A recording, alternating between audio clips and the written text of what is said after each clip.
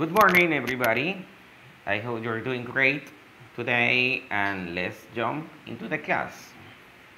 Listen, we have two objectives today. Students will be able to identify the difference between gerund and infinitive, and students will be able to write sentences with gerund and infinitive. En primer lugar, identificar la diferencia entre gerundio y el infinitivo y luego vamos a hacer algunos ejercicios, vamos a realizar algunas oraciones, ¿ok? Before we start, here we have a slang I would like you to learn today. I'm broke. I'm broke. Esta frase, esta expresión la vamos a decir cuando no tengamos dinero, ¿ok? I'm broke. Gerund versus infinitive. What is the difference? Here we have two different sentences. I love dancing. I love to dance. Lo crean o no, ambas tienen el mismo significado. I love dancing, I love to dance. But what is the difference?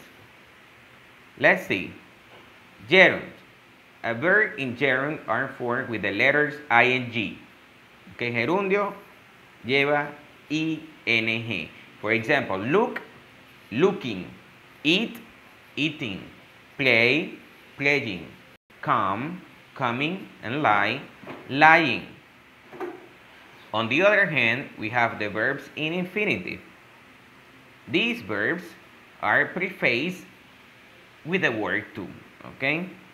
Están antecedidos por la palabra, la preposición to.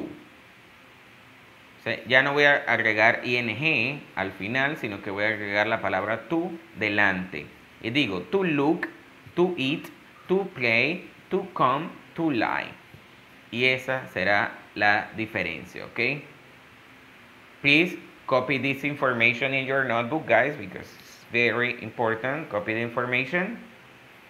You can stop the video right here, copy the information, we have to continue, okay? Two verbs in a sentence. ¿Podemos tener dos verbos en una oración? Por supuesto que sí. Yes. And here we have an example. I like swimming or I like to swim.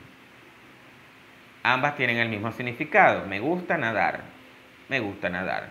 I like swimming, I like to swim. Puedo utilizar cualquiera de las dos alternativas, pero ¿cuál es la diferencia? The first one is in gerund. I like swimming. The second one is in infinitive. I like to swim. Y esa sería la diferencia. Ya sabemos entonces, gerundio, ing, infinitive, infinitivo, la preposición to. Now, let's write. Here we have some verbs that are followed by gerund, some verbs that are followed by gerund and infinitive, and gerund after preposition, ¿ok?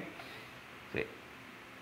Hay verbos que son seguidos de gerundio, hay verbos que son seguidos de ambos, tanto de gerundio como infinitivo, y hay verbos que son seguidos que siempre voy a colocar gerundio después de una preposición. Tenemos uh, el primer ejemplo, gerund. We have the verb enjoy. I say, I enjoy dancing. I enjoy dancing. Here, in this case, I cannot use infinitive. I cannot say, I enjoy to dance. Uh, that's incorrect, okay? I say, I enjoy dancing. On the second column, we have the verb like, and this verb is special because I can use both gerund or infinitive. So I say I like playing or I like to play. No problem here. Puedo utilizar las dos maneras sin problema.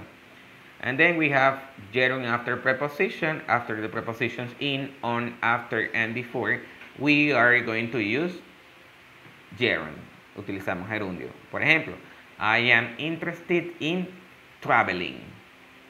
Yo no puedo decir I am interested in travel or in to travel. traveling. Please copy the exercises, copy the examples in your notebook, guys. I'm gonna give you a couple of seconds. Copy your notebook.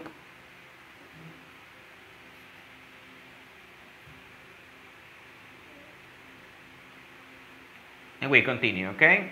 As homework, guys, you have to write three sentences with the verb enjoy and three sentences with the verb like. Escribiremos un total de seis oraciones. Tres oraciones con el verbo enjoy y tres oraciones con el verbo like. ¿Quieren un ejemplo? Les doy un ejemplo.